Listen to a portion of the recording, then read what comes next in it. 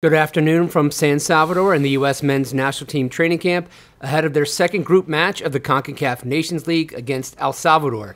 Today we'll be joined by goalkeeper Ethan Horvath and head coach Gregg Berhalter. If you'd like to get in a queue to ask a question of Ethan, you can do so by virtually raising your hand now. And we'll just begin by saying that Gregg has confirmed that Ethan will be the starting goalkeeper for tomorrow night's match against El Salvador. We will begin with questions and start with Steven Goff from the Washington Post. Ethan, thanks for joining us. Uh, congratulations on, on getting the start tomorrow. Um, how do you uh, how do you look at this uh, goalkeeping corps and heading into the final months leading up to the World Cup? Obviously, we saw Matt start two games, Sean start one. You're going to get a start. Zach obviously is in the mix as well. Um, how do you how do you look at the, the big picture now? Yeah, it's we're a close group of guys. Um, I'm very happy to get the start tomorrow. It's one of three last games before we head to the World Cup.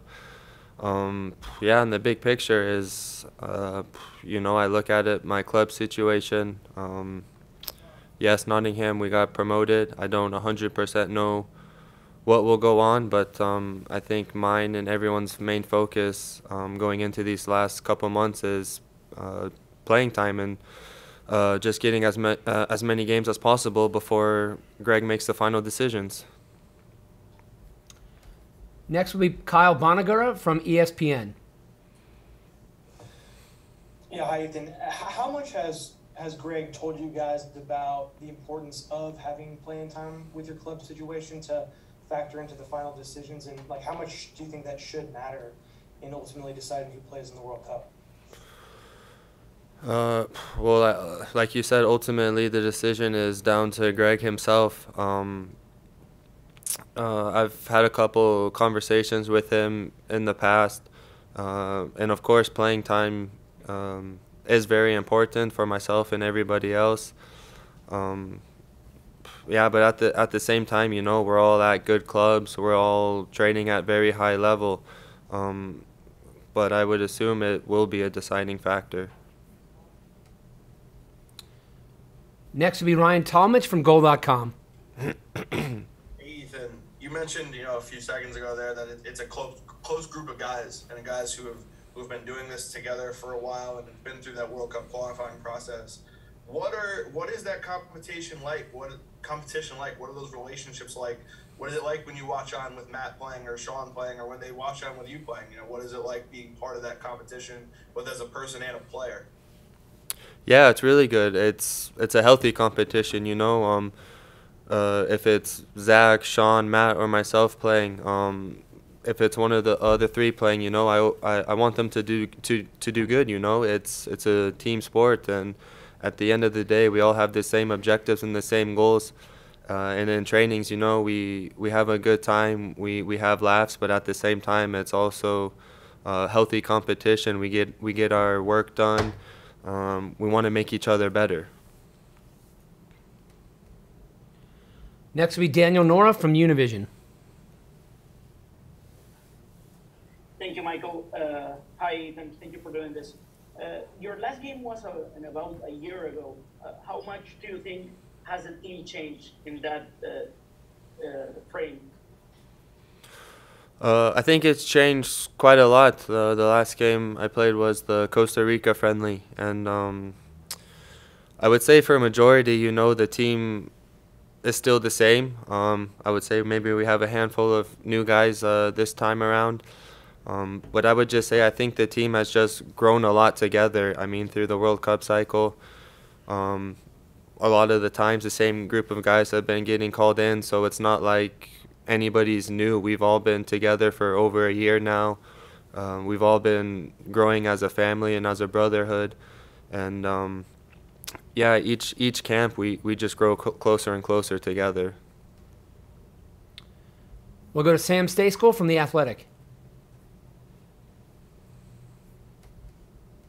Thanks, Michael. Thanks, Ethan. Ethan, you mentioned your club situation and how you're not really sure what's going to happen what do you anticipate happening, and, and, what what are you what are you looking for? Are you looking for a move? Are you looking to stay with Nottingham? I know there's some uncertainty potentially with with Brice Samba and his situation as well. So, what do you want this summer?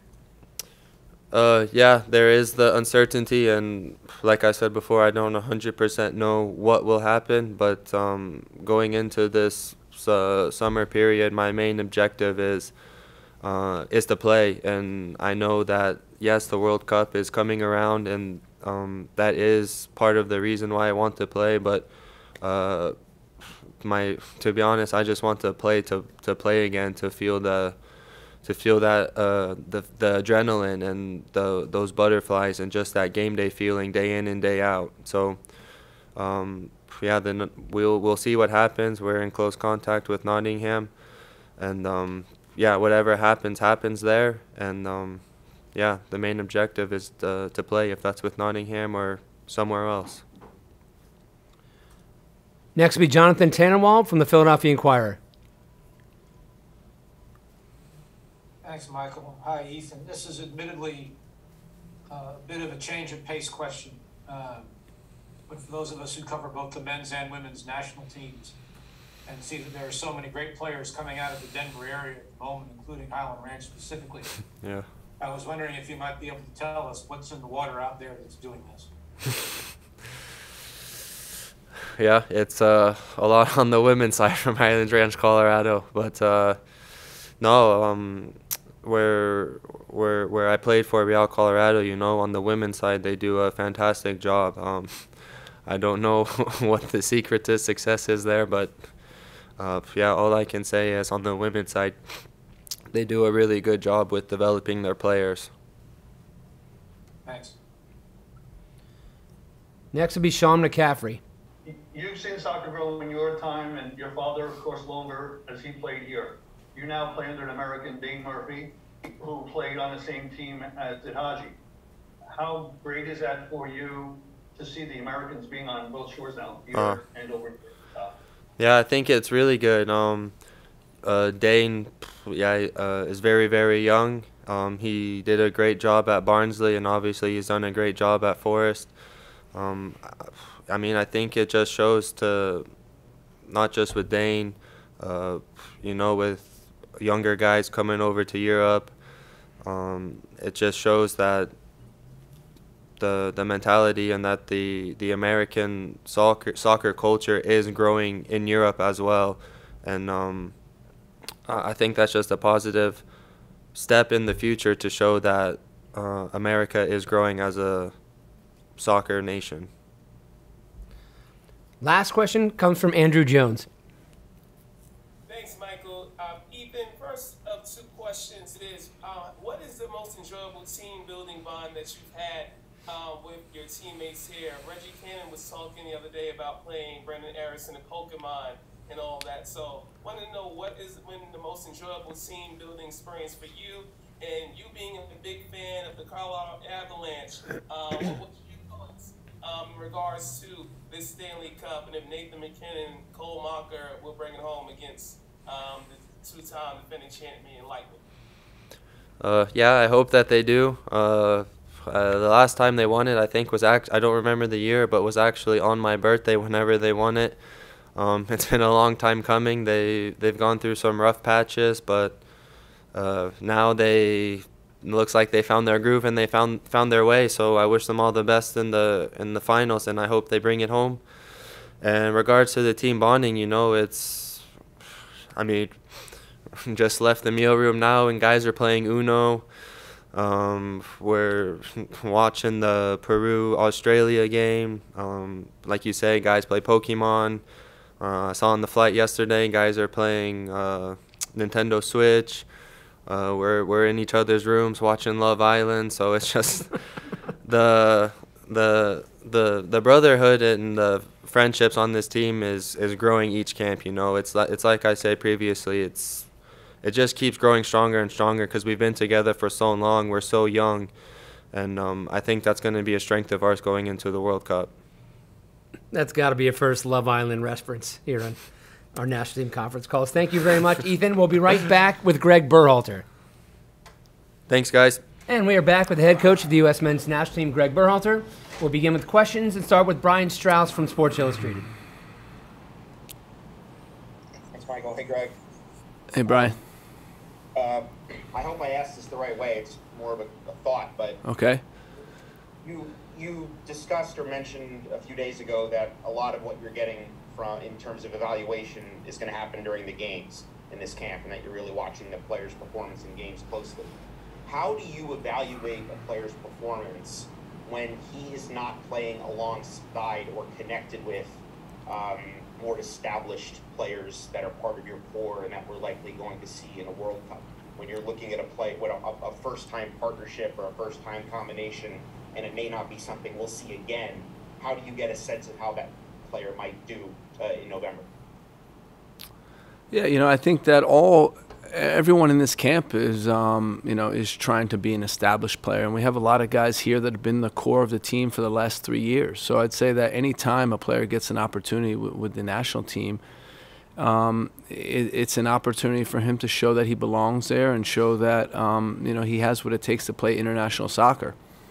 I think when when you're talking about the detail of chemistry between guys and um, you know guys you know certain partnerships working together you know that's something that you know you, you don't always get in, in some of the lineups that that you're playing but it's still an opportunity for guys to show that they belong to play playing at this level and, and that's something where you know it that's an important part of the evaluation process We'll go to Henry Bushnell from Yahoo. Thanks, Michael. Hey, Gregg. Hey, Henry. Um, kind of a two-part question about the just the roster decision-making process. First, Okay. I'm wondering if you can kind of just give us a little insight into the process. Like we we all as media love to talk about the roster bubble and who's going to make the cut. Like how frequent specifically is that discussion with you and your your staff? Like like has that decision-making process already started in your mind? Um, and then the second question, I guess, is like at this point, five months out, do you have a sense for roughly how many of those 26 spots are kind of locked in, assuming everybody stays healthy? Yeah, you know, um, the tricky thing about the national team is is that you know you have to perform each and every time that you're in camp, and um, so we're our our focus right now is. Um, you know, when we're coming into this camp, it was how do we get be- better collectively as a team? How do we evaluate um, players, and then how do we start defending our Nations League title? And we're very much in the present right now and focused on, you know, how do we win against El Salvador? And part of that, part of the the overall evaluation process will take place. You know, it takes place after each and every game, and seeing how players do and seeing how they perform in their position, see if they're um, executing the the roles um, that we have them on the based on what we're doing on the field. So all those things are, are daily work. Um, you know, we're not in in a in a position right now where we're saying, okay, this person's locked in or not locked in, or this person's out or not.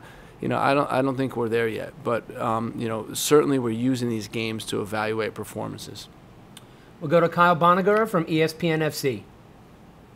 Yeah, Gregg. I'm wondering if you could kind of give us a little insight into what the communication process is like between you know the end of this camp and in September when you guys meet again. Obviously, there's a a lot you guys still have to kind of work on between now and then. And then, and then secondly, how much input do you give players who are looking for guidance about potentially transferring to a new club or guys who are already actively looking? You know, I have conversations with them, and um, it's mostly about listening and, and hearing what their ambitions are and, and trying to figure out together with them what, what the best fit would be. But really just there to lend an ear and, um, and give advice where I can. Um, in terms of uh, the first part of the question was what? I missed that one. Stand by, Kyle. Yeah, it was, it was basically what is the communication? Oh yeah, exactly. staff that you- Yep. So you know the the majority of players in this camp are going to be going back to or start preseason camp soon. So now they have vacation, they have off, and then they're going to go into preseason camp, and we'll let them be for a little bit. Um, you know, I want them to to relax, to to get their mind away from soccer, and then as we get into preseason, um, you know, we'll start making contact again. The the MLS players will continue to monitor them, talk to their clubs, talk to to, to them for the next weeks and then really um, focus on you know putting together a strong roster that can compete in the September camp. But um, the communication I think will will die down for for at least the next couple of weeks. We'll go to Steven Goff from the Washington Post. Thanks, Gregg. Um, obviously, the circumstances and the, the opponent will be very different tomorrow than they were Friday in Austin. Um, saying that, what, what would you like to see uh, tomorrow that, that you maybe you didn't see on Friday in Austin? No, we, you know, we we're we're pleased with the game on um, on Friday. You know, anytime you beat an opponent five nothing at any level, I think is is good. Anytime you limit them to zero shots on goal, that's important. So you know, we we were pleased with that performance. Um, you know, you can only, uh, you know, you can only play against your opponent on the field, right? And and you have to take care of business, and we did that on Friday. We put ourselves in good position. El Salvador will be a different opponent. They'll be more aggressive, but I think they'll be a higher pressing um, better counter pressing, and away from home. So, you know, for us, it's how do we deal with those elements, and then how do we put a good performance in away from home that we've um, that we haven't always done since we've been together. So, um, you know, that's certainly going to be a challenge for this group. We know it's the last game before we go on, on break from each other, and we want to end on a good note. Next is Daniel Nora from Univision. Thank you, Michael. Hi, Gregg. Um, uh, I want to ask you about Malik. Uh, yep. He seems kind of frustrated in the last game. I want to know what your evaluation is at this point, and if you think that he can bring something different from another position still with the national team. You know, he he had a um, an injury that he sustained in the match that got worse, and I think that was the frustration you were seeing. Um, he's out for the match against El Salvador. Um, it's unfortunate, but um, you know we think really highly of him. We're excited about what he can do. He showed you know, glimpses in that game, glimpses in the in the Morocco game of, of his quality, and um, you know now it's about him recovering and getting ready for preseason. Next is Paul Tenorio from the Athletic. Thanks so much, Michael, and thank you, Gregg. Um, I wonder, having had a chance to look back at the games now, how you felt when you tinkered with the shape in midfield of dropping a second midfielder a bit deeper, how, how you um, liked, maybe the, the differences in build up and, and also maybe, especially in the early games, um, how it helped Christian get into better spots, have more space to operate, and how you think um, that, that change might not just change how you build up uh, with the ball, but maybe maybe the spaces that those wingers have to operate in. Thank you. Yeah, I mean that that's part of the idea um, of making space in a pocket for a guy like Christian, but also giving help to a guy like Tyler and build up and um, you know we'll see. We, we want to continue to work on that. We think against certain type of opponent, it could be um, you know impactful way to to create those spaces, and and we'll continue to push forward and um, and see how that works. We'll go to Charlie Boehm from MLSsoccer.com. Yeah, so uh, my question is right along the lines of Paul's. I was curious about the midfield, central midfield relationships um, what you learned from from those little tweaks you made in the build out and the shape and and what you take forward from from that. Yeah i think we're still learning. You know we want to see see how it um, how it affects potentially other defensive shapes and how um, we can still create spaces both um, between the lines and in wide areas lower wide areas so you know we're going to keep working on on that type of thing um, there were moments in the Grenada game where you know we switched back to a four and one because we didn't need another an extra player in there. And it's just I think about recognizing what type of pressure and recognizing the best formation to to give us um, you know quick ball circulation and open up spaces between the lines. We'll go to Jonathan Tannenwald from the Philadelphia Inquirer. Thank you, Michael, and, and thank you, Craig, for the time. Um, this admittedly changes the pace of the question a little bit, but um, Walker had his son in camp in Austin, and we all saw the videos going around and, and such, and of interacting with the other players and all that. And we know that in the new CBA, there's going to be a, a, a child care clause for the men's team that there hasn't been before. And I wonder what it would have been like back in your playing days um, if you had been able to have access to that and how important you think it is to have it now. Well, you know, back in our playing days, it was common that that um, players did bring kids in into camp. You know, um, mostly it was accompanied by their their wives and the mothers of the children, but that was really common. You know, we had close bonds with all, all the kids. I remember at the World Cup, you know, there being a a, um, a family room where the kids would all be playing soccer, and and um, you know, I, I think anytime you know you get to know the families uh, on a deeper level the closer you become. You know, I got to meet um, Walker's son for the first time uh, in this camp, and it was, it was, great to see him. I got to meet Aaron Long's daughter for the first time, And um, you know, I, I think we want we preach a type of environment, a family type of environment, and it's nice to um, you know to take advantage of that. Next is Brian Sciaretta from American Soccer Now. Thank you, Michael, and uh, thank you, Gregg, for doing this. Um, two two players I want to ask you about who came in in wildly different situations. You know, uh, Cameron Carter Vickers won the champion, won the title in Scotland, and got the permanent transfer that he wanted. Uh, how has he done fitting in? He's coming on cloud nine. How you know what has your been your assessment throughout this whole camp? And then also, obviously on the other flip end, um, Luca De La Torre looked sharp the other day um, against Grenada, but you know he comes in at a time when the club situation is, is uncertain. How was he able to get beyond that in this camp? I mean, what has been his mood, and, and how has he been able to put that aside? Definitely, you know, Luca is. You have two types of scenarios, right? A guy who gets a boost from being in the national team, right? It's not going great for his club, so he comes in the national team and he gets a boost. And you have a player who's doing great with their clubs, and they come into the national team and gets that same type of boost. So that's what we're seeing with both of those players. They both have done well in camp. Um, you know, Luca's been around in, in, qualifying, so he knows what it's about. Cam hasn't been around that much, but it's been great to see how he adapts and picks up the level really quickly. And I think for both of them, it's been positive camps. Next will be Kyle Bond. Thank you, guys. I appreciate the time very much, Gregg. Uh, you, you face the possibility that the top two goalkeepers, who many consider to be 1A and 1B in the player pool right now, both being backups at the club level next season. And we just heard from Ethan talk about his situation being a bit uncertain as well. Obviously, it's exciting to have guys playing at the Premier League level. But when you start evaluating not only who you want to bring to the World Cup, but who you want to start in the future, how much do you weigh club minutes in form versus national team experience in form, especially for a form-based position like goalkeeper? Yeah, we have to take them both into consideration, and it, it may not be perfect. It may come down to um, you know small differences uh, amongst the group, but. Um, you know, right now it's really too early to, to, to give a in-depth comment on it because we just don't know what their situation is going to be. And um, you know, it's great that Sean's playing and doing really well, and um, you know, for Ethan and um, for for Ethan and Matt Turner and Zach, you know, we'll have to just wait and see what happens throughout preseason. Last question comes from Ryan Tolmich from Goal.com. Hey, Gregg, I was I was going to ask something somewhat similar to that, but a little bit different. It's okay. just that when you look at the goalkeeper competition, like you said, you have five or six guys, and, and that still needs to sort itself out. Yep. And the way that that third position in particular is usually used is to bring a veteran presence in to hold things down, or to bring in a younger goalkeeper who who can kind of come in and get that experience.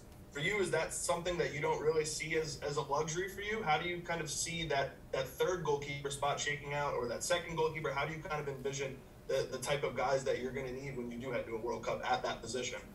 I just think eh, you know every every roster spot is going to be carefully considered, and um, you know uh, what's worked in the past may not work now. Um, you know, I, have seen Spain where they've taken a, a, really old goalkeeper because he means a lot to the group. I see other teams take young goalkeepers, and for us, nothing's set in stone right now. Um, what we know is we want. Um, you know, A, guys that can perform up to the level, and B, the guys that are bought into the team ethos and, um, and fit the culture of our group. So, you know, we'll make a decision based on those two um, parameters and, um, you know, hopefully get it right.